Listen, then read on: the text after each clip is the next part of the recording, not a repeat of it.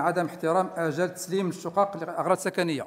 تفضل سيد النائب بسم الله الرحمن الرحيم سيد الرئيس السادة الوزراء السيدة الوزيرة المحترمة.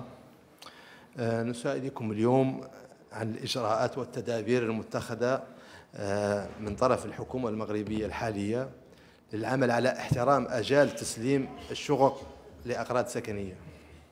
جواب السيدة الوزيرة. شكرا السيد النائب المحترم على سؤالكم هذا المهم. في إطار تجويد السياسة الوطنية للإسكان وباش نقوموا بحماية المشتري فإن تدخل الوزارة كيتم على مستويين. الأول كيتعلق بالحالات اللي كتكون فيها الوزارة طرفا مشرفا على العلاقات التعاقدية بين البائع والمشتري.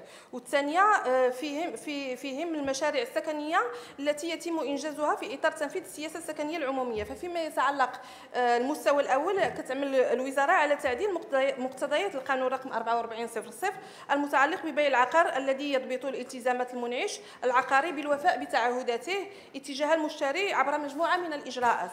الإجراءات اللي كاينة اليوم هي إلزام البائع بإنجاز جميع الأشغال واحترام أجل إنجاز البناء المحدد في العقد ثم وكذلك منح المنعش العقاري اجلا اضافيا ليتجاوز غير بست شهور لإتمام أشغال بناء العقار ثم عدم إبرام العقد النهائي بين البائع والمشتري بعد الإدلاء برخصة السكن أو شهادة المطابقه أما على المستوى البرامج السكنية العمومية والتي يتم تنفيذها من من طرف فاعلين عموميين والتي تعتمدها الدولة بأن على إبرام اتفاقيات مع المنعشين العقاريين فنورمالمون على كان كان هاد الشروط اللي كنحاولوا أننا نتبعوا آه، بواحد العقد اللي هو مضبوط لضمان تسليم الشقق في أجل محددة.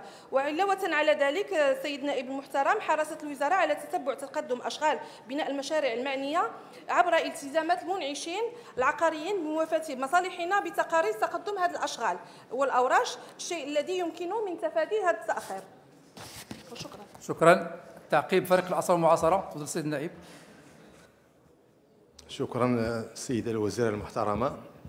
آه هاد العائلات اللي كت عندها مشكلة ديال السكن واللي كتقدم باش تشري شقة وكتبقى تنتظر أجل التسليم يعني عندها مشكلة. اولا كتخلص الكراء في انتظار هذا الأجل وكذلك هذه الشركات أو المنعشين العقاريين كيطولوا الخدمة ديالهم ويطولوا العمل ديالهم باش تكون أكبر مدة ممكنة ما يستافدوش يعني المعنيين بالأمر.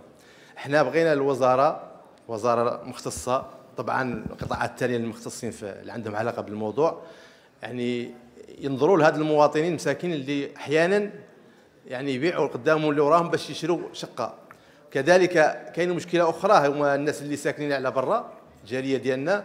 كاين فيهم اللي اللي كينخرط في هذه العملية باش يرجع لأرض الوطن ولكن كيرجع حتى يتهرس مسكين. كينتظر ينتظر في الآخر ما يلقى حتى شقة لا لاي شي حاجة.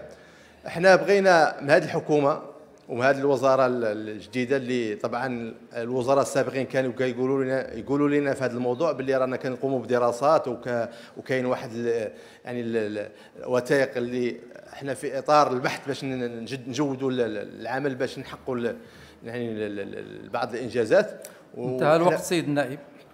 هل هناك تعقيبات إضافية؟ سيده الوزيرة. سيد النائب المحترم الحقيقة هذا الشيء اللي قلته كله كاين والأسباب انتهى السيدة الوزيرة للأسف.